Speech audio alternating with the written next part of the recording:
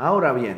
los seres eh, superiores, como los ángeles y las neshamot de los mundos superiores, no tienen la fuerza de refinar y elevar las chispas divinas atrapadas en la Klipat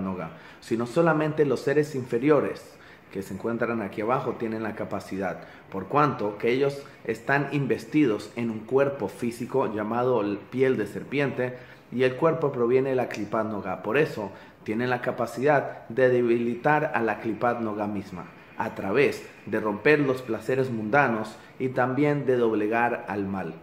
Es por esto que los seres superiores bajan aquí abajo a escuchar las palabras de Torah y sus innovaciones, debido a que esas palabras de Torah que estaban aquí abajo, capturadas hasta ese momento, los seres de aquí abajo tienen la capacidad de revelar esa sabiduría, esa jojma que estaba oculta y en exilio.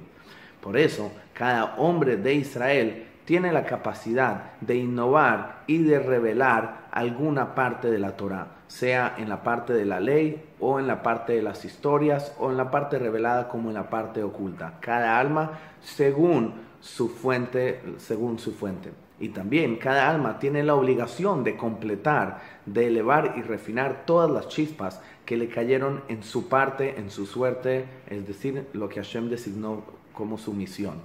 Y como es sabido también de que las palabras de Torah son una chispa de la Shejina, como es sabido de que, y en especial las palabras de Alajá, de ley, como es sabido que la palabra de Hashem, dice la Gemara, son las Alajot. Y por eso está investido, como dijimos, esta Torah es, el es la sabiduría de Hashem, del mundo de Atzilut, como, como se desciende después a Malhut de Atzilut, como después desciende a Malhut de Yetzirah, y como finalmente se inviste esas chispas, esa Torah, en la Klipat Noga aquí abajo.